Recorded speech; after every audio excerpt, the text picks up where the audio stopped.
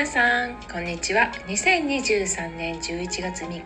ホノルルよりクリスタル松岡が今日の星の動きと。そして、えー、みんなで、えー、シンクロする、えー、メッセージカード。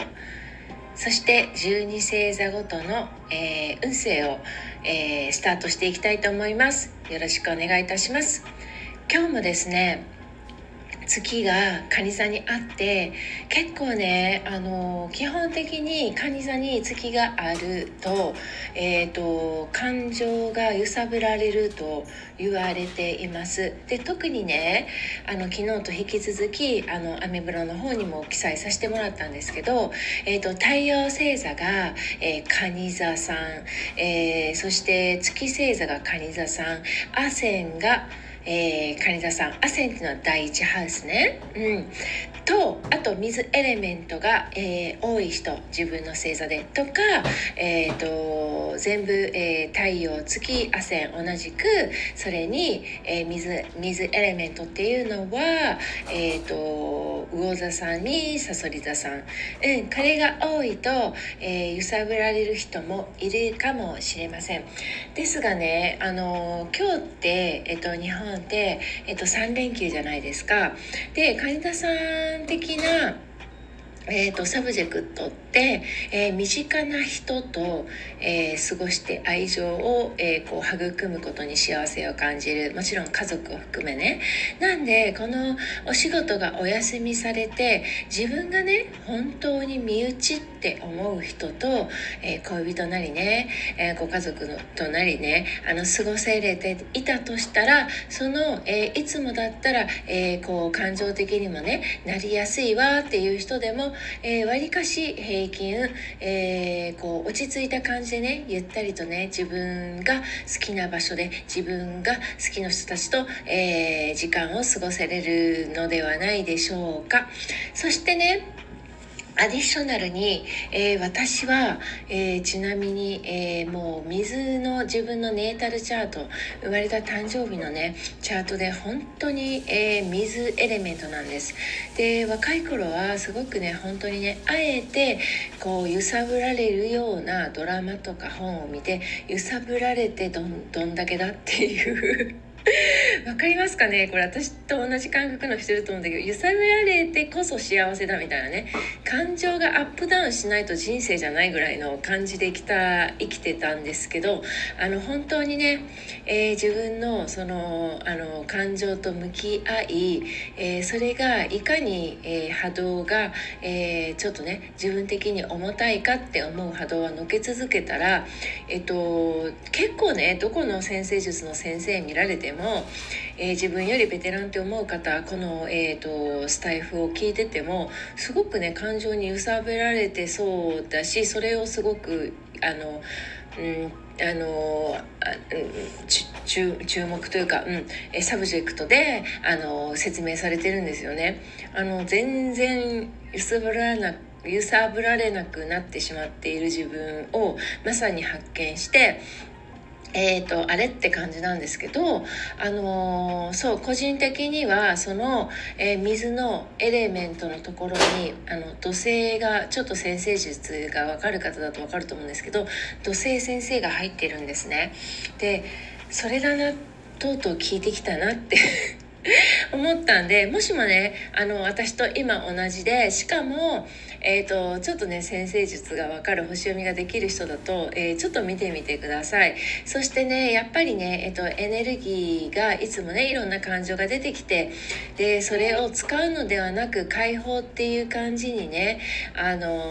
ー、日々を生活されている人がいたら、えー、全部抜いていなくても、えかなり私のような感覚で今日はねあれっていうあの揺さぶられない安定した生活を感情的にねされてるなっていう人はえの解放もうまくいっているっていうのはやっぱりねえっと、土の時代から、えー、風の時代に向かって私たち持っていけないっていうものは、えっと、特にね水エレメントの人は、えー、ドライにならないと重たすぎて他の、えー、風のエレメントの方たちについていけないし自分たちは取り残されるってねちょっと怖いんですけど言われています。なのでねどんどんねあの私的には揺さぶられてば揺さぶられるということは出てくるんでその感情を手放す時だよっていう感じでいつも、えー、捉えております。うん、なんでね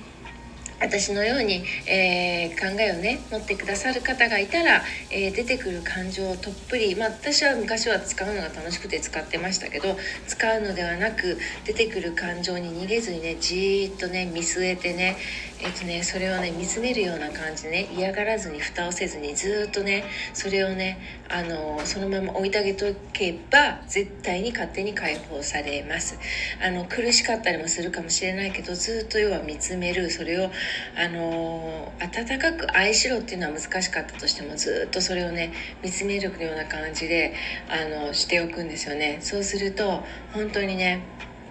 軽くなる日がバーンと現れて例えば数日とかもう早ければ私は半日ぐらいなんですけどちょっとねよかったら参考に。でもねもしも興味がある人があれば、えっと、特にねこれスターシードさんだと思うんですよね。興味を持ってくれる方は。またね今度それはトピックでお話ししようと思いますので興味がある人は、えー、っと興味があるとか一言、えー、ください、えー、そんな感じで。あのまあ平均ねあとはねすごく安定してます。この間から引き続きえーと、太陽と,、えーと、そうですね水星火星とあの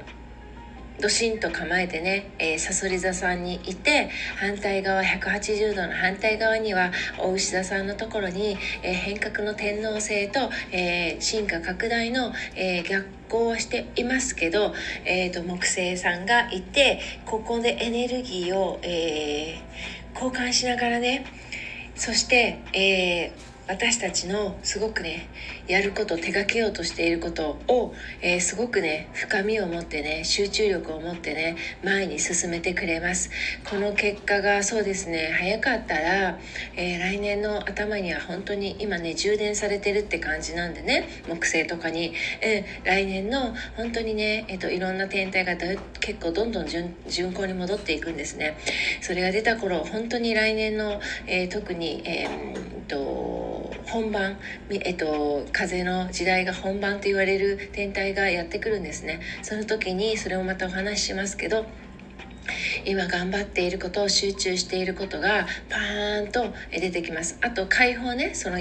ついでにね揺さぶられる感情を自分ものけていきたいんだと思って、えー、あののけていって解放している人たちもパーンとね、えー、来年の本当の、えー、あのすごくねガラッとね目の前の生活、えー、映し出すあのうん映像がねあの変わってあの来ると言われてます。うんえー、ぜひぜひね今ねみんなね何だろう地道な筋トレの時ですけど、えー、それぞれのね筋トレはね何かしらみんな筋トレをしてるんでね何かに向かって、えー、筋トレをねぜひね楽しみましょう。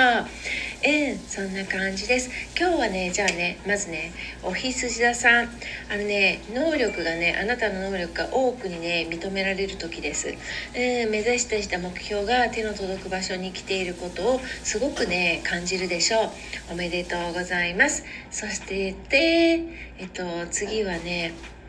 お牛田さん。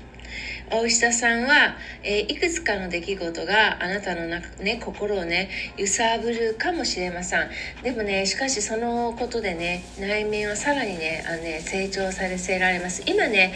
大石田さんってね、えっと、もちろん木星も入っててでも逆行してる。あと天天王星っていうあの変革のあの、うん、革命の惑星が入ってるからなんですけど、えー、価値観の、えー、あの入れ替えが起きているお医者さんが多いんですね。うん、そんな感じで揺さぶられるっていう意味です。だから揺さぶれよ揺さぶれるほどまた、えー、それに向き合ったら、えー、本当に自分が、えー、大切と思う豊かさ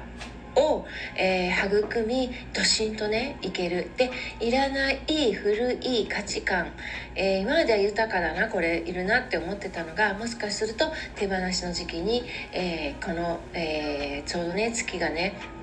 管理座さんにいる間に、え来ているという意味かもしれません。でもねそれをね深くねあんまりこうだああだ考えずに、えーと、その出てくる感情に向き合って、えー、過ごしてみてください。そうすると月が、えーと、明日のもう夜にはね、えー、変わってだから、えーと、明日のお昼とかにはだいぶねまた気持ちが落ち着くと思います。そうするとシフトしている自分を発見、えー、しますのでね。ちょっとねあの気持ち大変な人もいるかもしれないけど、えー、お医者さんみんながねいい意味でね新しい豊かさに、え、またね変化変容している時そしてその日でああると思ってくださいこういう小さい日がたくさん積み重なって大きく私たちは変わっていくと思ってください。はい。そしたらね、双子座さん、双子座さんも本当にね、いろいろね、今取り組まれてますよね。えっと、なんせね、リーダーになりますからね。うん、気分がね、沈んでしまう瞬間とかね、そういう日がちょっとあるかもしれない。今ね、私の周りの、え、双子さん結構ね、いろんなことに取り組んでおります。うん、でもそれは、えっと、来年本番の、えっと、あの、本番の風の時代のリーダーですよね。なんで、えっと、表舞台に、えー、立って、えー、ぐいぐい引っ張っていく人もいるし、えーなんかこうローカルな場所でね、えー、あのその周りの人の、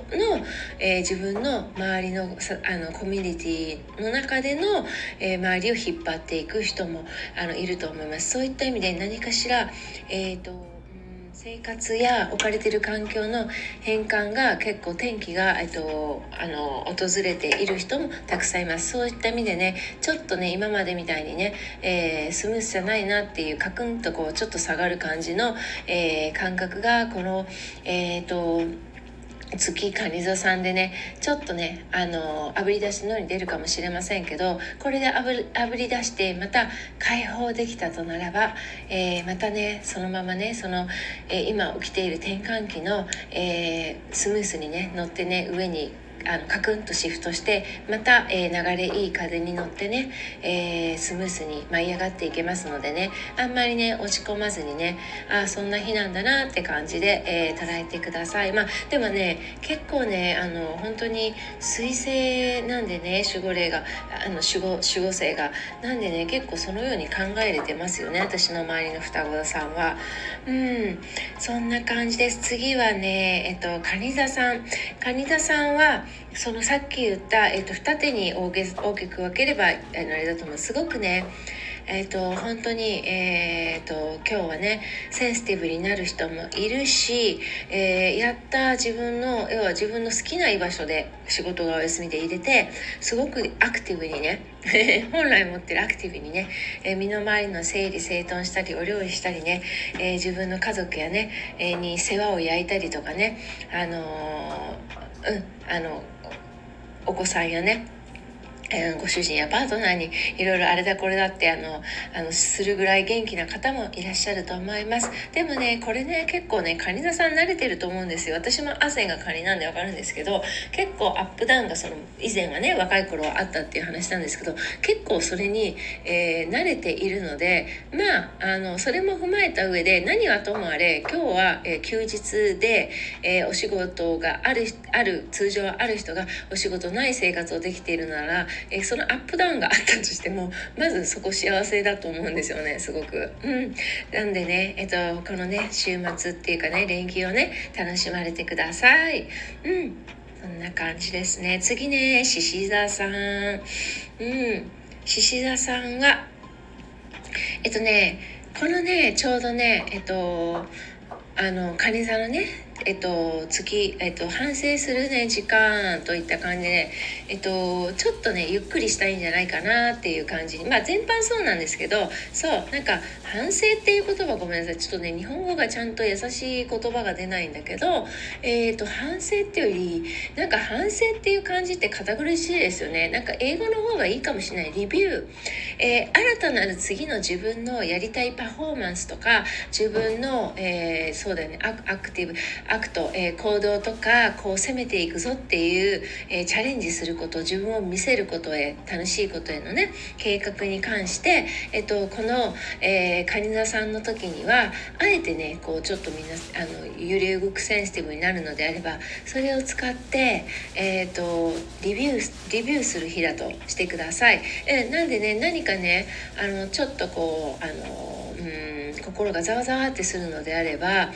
えーと、それを使って、えーと、パフォーマンス性に、え何があれなんだろうっていう感じで、えー、あのちょっとそういう時間だと思ってあげてください。それでもねなんかねなんかもうあの落ち着かないなこのざわざわと思ったらねえっ、ともうちょっとね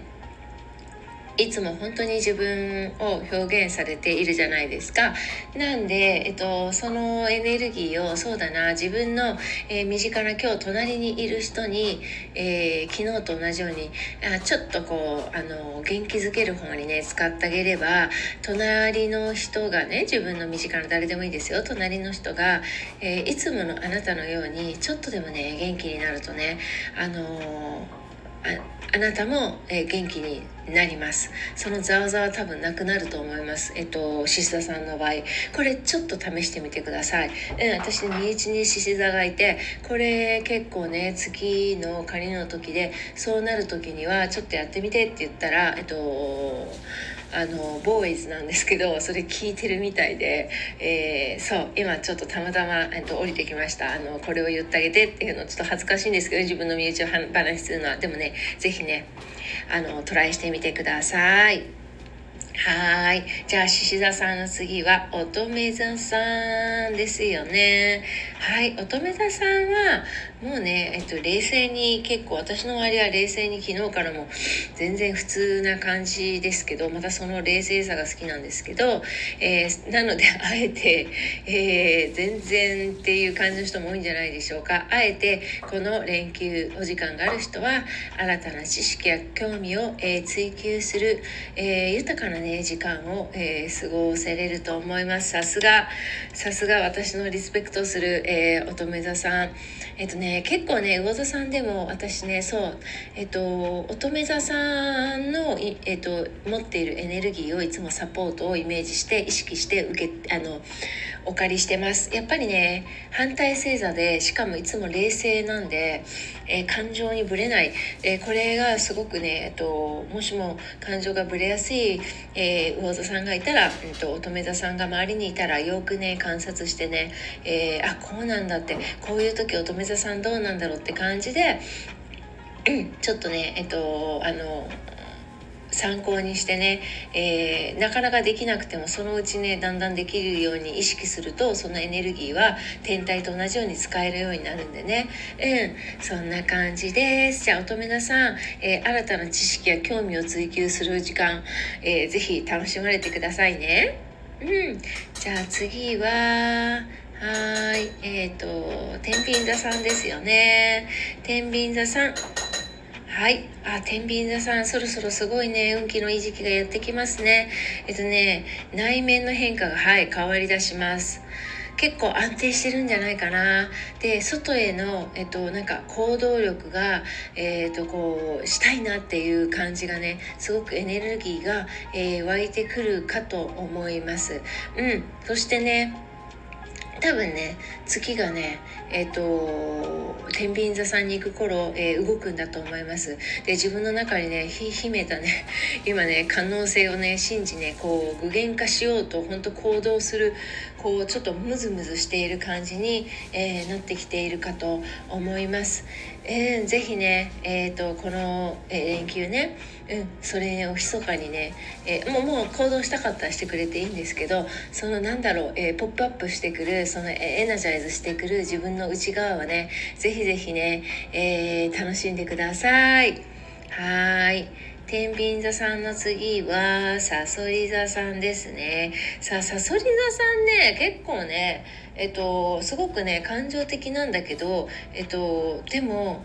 ドシンとしているからそして今色他にねすごく太陽にそこに冷静な彗星と、えー、パッションの火星のバランスがすごくいいんですよね。だから結構ね関係なくねめきめきとねあなたがね今ね進めているプロジェクトとかやっていることありますよね。それにねさらなるねこのね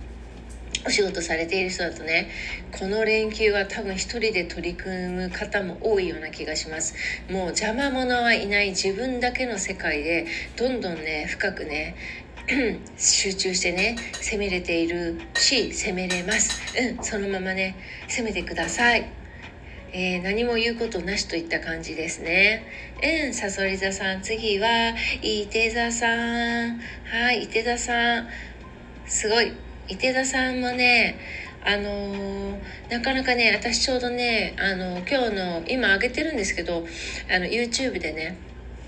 えーと、ダウンロードっていうかねアップロードをしている時なんですけどそう伊手田さんのね、えーとえーと、カードリーディングをした時に伊手田さんちょっと今ね疲れている人とか多そうなんですよ。だからまず自分の時間をこの週末は連休はね取れるだけ取って、えーとえーと、多分静かなとこが好きであれば、えー、と自分の好きな読書とか何かね、えー、とハートのねチャクラがね、えー、ワクワク、えー、する、えー、なんかね楽しいなって思うことそれパズルだったりもしかしたら、えーと、お母さんだったらお子さんがね小さいお子さんがいて何かこう塗り絵をそのままポンってほったらかしだったら片付けようとした時にあこれちょっと塗ってみたいと思ったら塗ってみるとかね、えーと、ちょっとねインナーチャイルドを、え、が喜ぶ癒すようなことって癒すことって何だろう何だろうって探さなくていいです、えー、それよりもハートに聞いてください。もしかしたら、えーと、とちょっとケーキを食べるとか、えゆっくりするとかお昼寝するとかかもうみんなそれぞれです。あなたのハートに聞いてください。でねそれをできるだけたくさん今日この連休してください。でそうするとね数日中にあのカードリーディングではよかったら YouTube 見てください。伊手田さんの11月を。えっとね、すぐ戻ります。えっとね、そしてハーモニーが来て、そうすると、えー、いつもの本来の伊手田さんに戻って、ちょっとごめんなさい、今日だけじゃなくて先言っちゃってるんですけど、元気づけたいんで、えっと、結局11月の結果は、えー、何かしらあなたが今取り組んでいることが具現化が、えー、もうパッチリと形に見えるか見え始めます。だから今日ちょっと疲れている。それは、えっとうんと、エネルギーの調整だと思ってください。うん。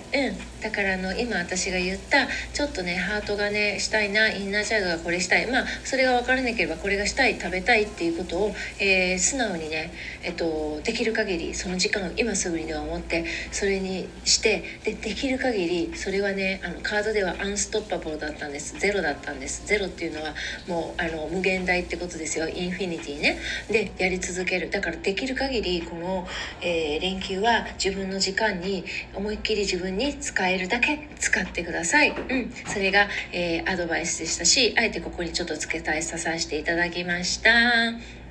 じゃあね、次ね、ヤギ座さん。はい。えっとね、ヤギ座さんは、ちょっと待ってくださいね。今日ね、手書きで書いたんで、はい。ヤギ座さんは、えっとね、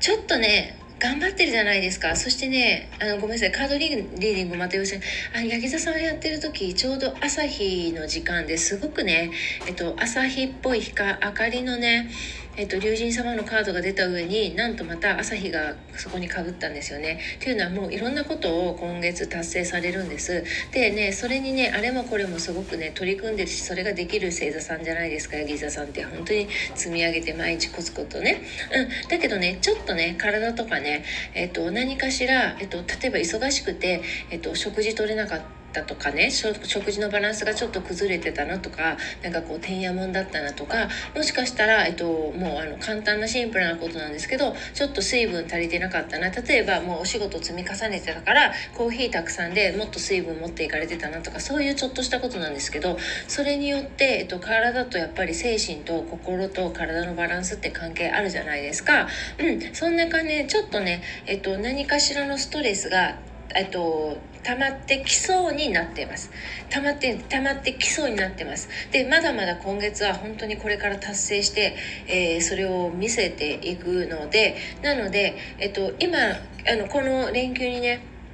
バランス戻して自分それなりに今言ってこれ聞いてくれてる人だとあちょっと、えー、ストレッチしようお風呂長く入ろうとかマッサージ行こうとか、えー、フェイシャル行こうとか頭のねマッサージちょっと頭がなんかこう重たくなってきてるパンパンになってきてる頭のマッサージ行こうヘッドスパ行こうとかみんなそれぞれねこれ聞いて思い浮かんだんでそれねぜひしてください。だから心身ともにあと食べ物ねすごく食べ物食べ物って今すごいエネルギーが降りてくるんでプラス自分が書いてる紙の走り書きの上上にアディショナルに、えー、付け足してもらうのが、えーと、あの食べ物も栄養をちょっとねゆっくりねとってあげてください。そしてね週末が明ける頃にはまたプロジェクトがいい感じで進み出して今月はすごく素敵な月になりますよ。はい。じゃあね水亀座さん。エキセントリックな水亀さん。はい。えっとね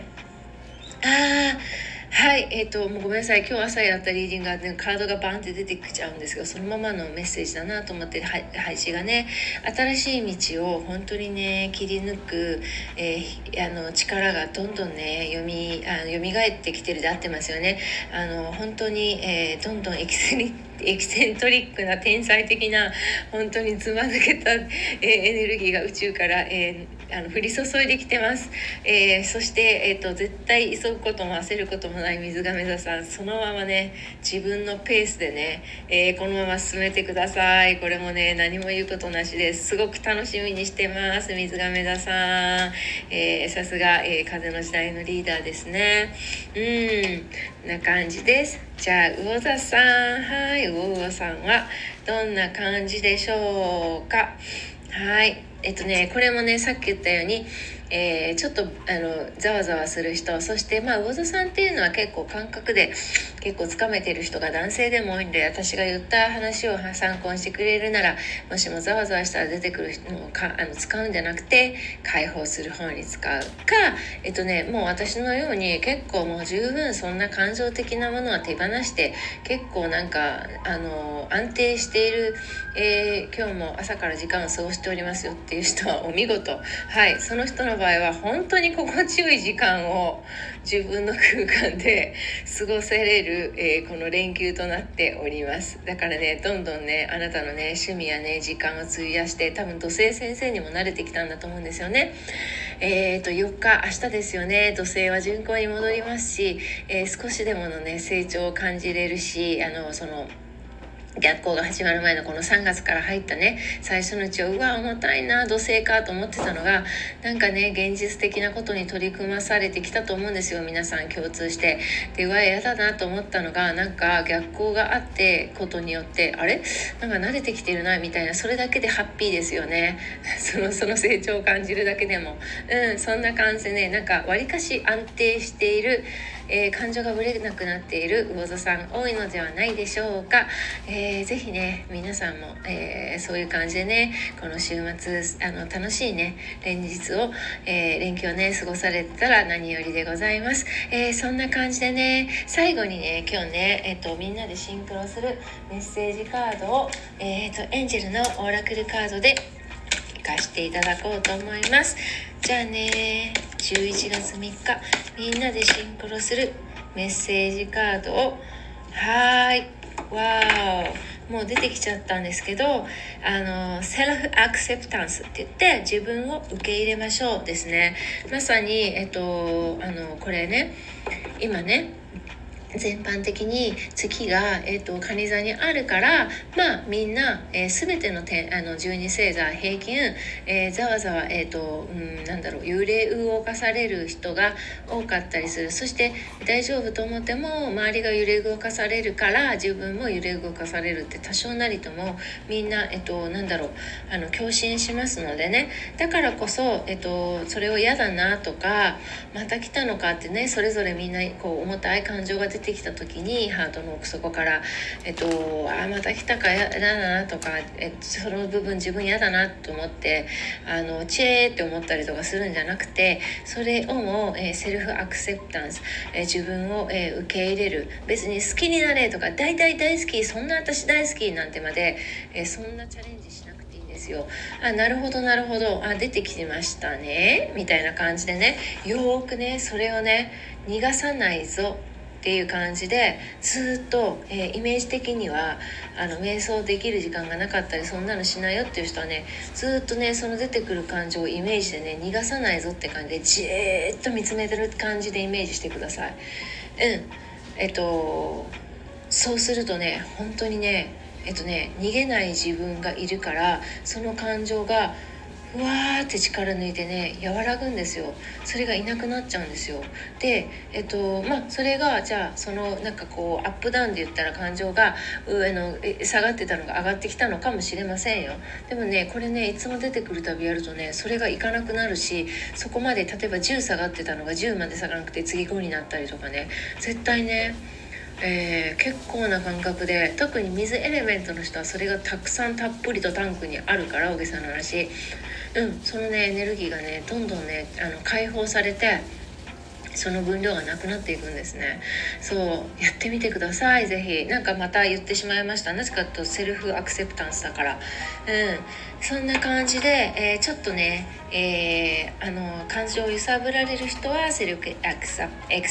クセプタンス。そしてまあなんかそれをも超えて、えー、自分今日、え、この連休全然ぶれないぞ、え楽しく過ごしているぞっていう人は気になりもならないけどそのあ楽しく過ごしている自分をもちろんセルフアクセプタンスできていると思うんですよね。自分大好きで楽しく、うん、過ごしてください。そんな感じです、えみんなで共通するメッセージ。やっぱりねどんな今感情にいるかブレているかブレてないにしてももうセルフアクセプタンス本当明らかにねシンクロのメッセージだと思います。うん、こんな感じで、えー、素敵な、えー、またね今日のね午後をお過ごしください連休1日目、えー、素敵な、えー、時間をお過ごしください。